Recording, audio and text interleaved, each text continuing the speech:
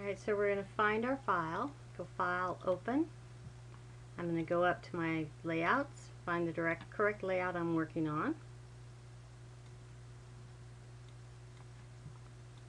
And I want to open my contact.xml. You do not want to open your field files from here. That will not give you what you're looking for. So simply open contact.xml.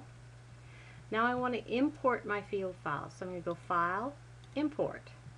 Now I grab my field files.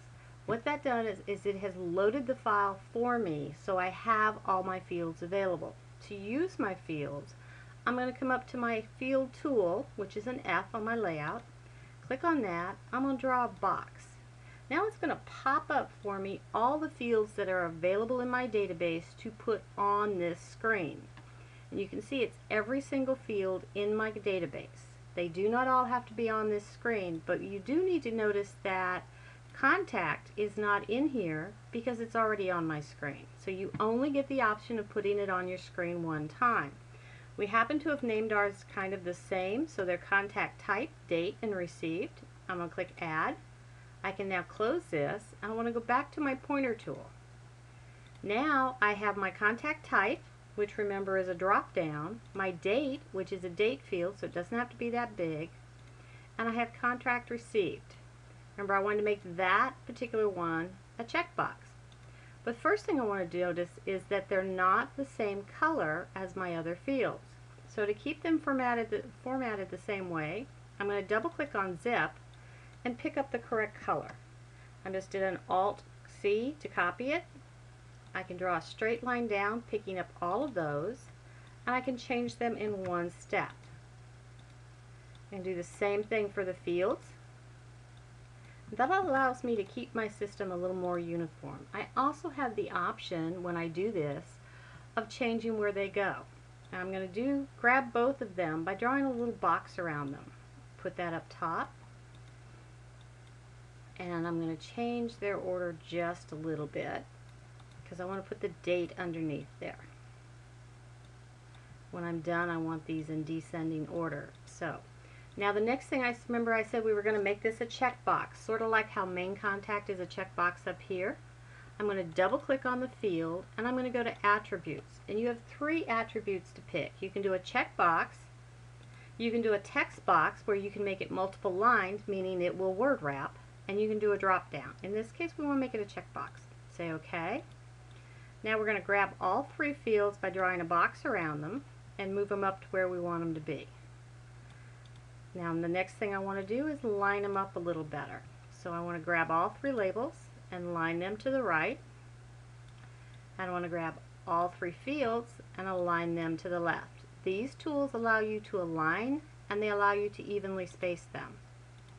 I can make this box just a little shorter and now it should fit pretty well right up inside my space. So now I have my three boxes.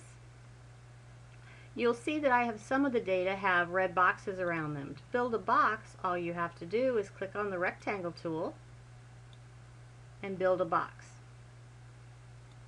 And then it'll pop up the property sheet. You can pick the color you want and that allows you to put a box around your system. Then you want to save. Now the next thing I want to do is I want to work on my order, my tab order. To change the tab order, you click on 1, 2, 3, and it'll show you what you currently have. So you want to come through and just click them in the order you want them. And if as you're going through, you have to click each field to have them show up properly and then you, as you're coming down you would make your changes. Then you hit save. Now we're ready to upload this back onto our system.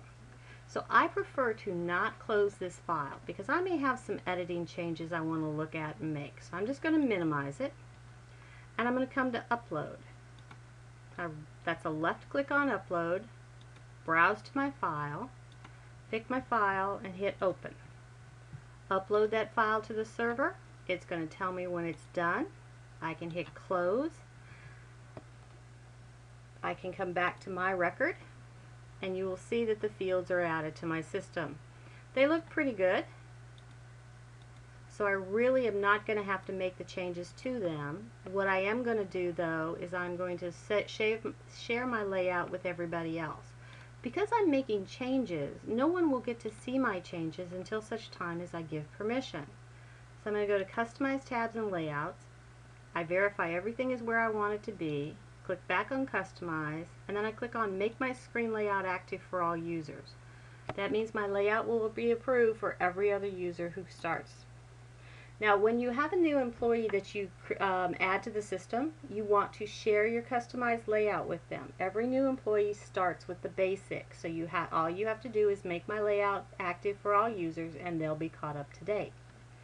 And that is the information on how you build custom fields and add them to your layout. Thank you.